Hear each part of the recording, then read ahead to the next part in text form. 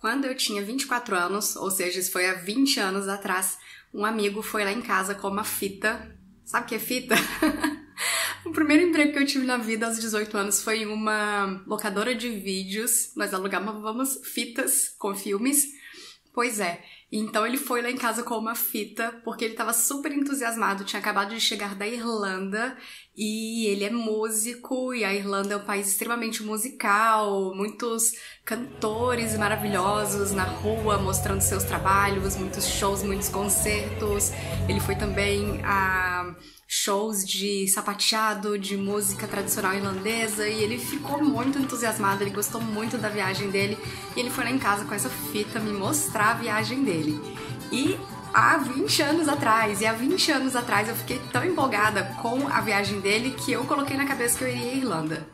E a vida vai nos levando. Eu já fui a lugares muito mais longe do que a Irlanda e não tinha pisado lá ainda.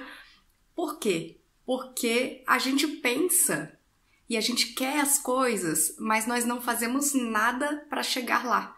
Enquanto a gente não coloca uma meta, não traça um objetivo, não coloca uma data, as coisas não acontecem. Então, há quatro meses atrás, eu falei: não, agora eu vou à Irlanda.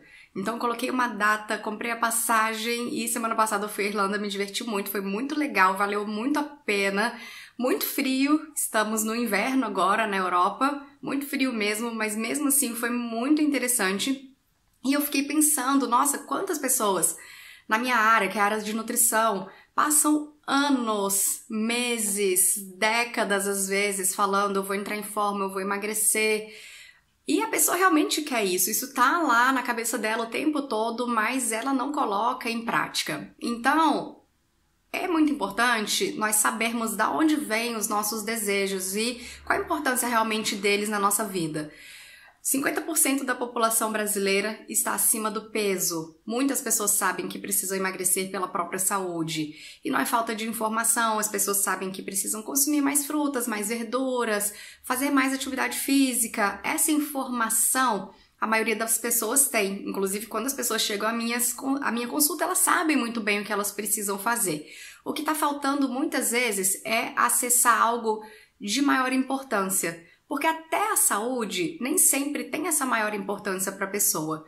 Eu tenho pacientes diabéticos que não seguem, que não aderem à dieta. Já atendi muito tempo pessoas com HIV que não tomavam o medicamento adequadamente, ou que têm hipertensão, não tomam o medicamento adequadamente, ou não fazem atividade física. Então, mais do que a doença, mais do que a vontade de entrar em forma ou de seguir um padrão estético, tem que ter algo ainda maior do que tudo isso. E esse algo ainda maior é o amor próprio. Então, o que você quer para você, como você quer se sentir, o quanto você se valoriza, porque só pensar, eu vou perder 2 quilos para entrar no vestido para o Natal, talvez não funcione. Ou talvez funcione até o Natal e depois você ganhe todo o peso de volta. Só pensar, eu vou começar a fazer atividade física porque eu quero passar o ano novo na praia e eu quero estar em boa forma, pode não funcionar também.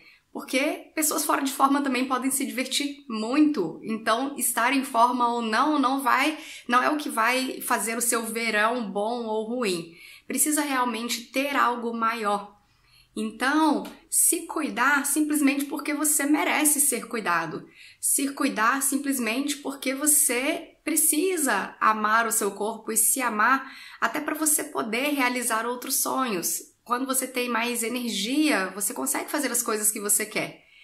E, além disso, colocar os planos no papel e tomar então uma ação que vai te dar o resultado que você precisa, simplesmente porque você gosta de você mesmo, simplesmente porque você está cuidando do seu corpo e da sua mente com muito carinho.